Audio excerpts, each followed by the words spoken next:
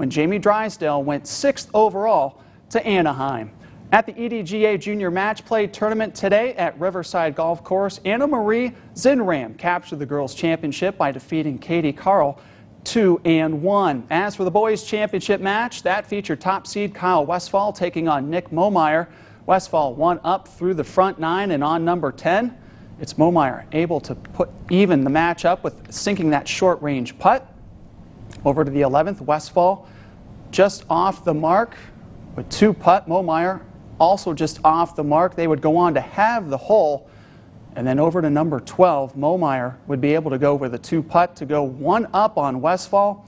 On number 13, they halved the hole. The championship final would eventually be decided in 19 holes as Kyle Westfall claims this year's EDGA Junior Match Play title.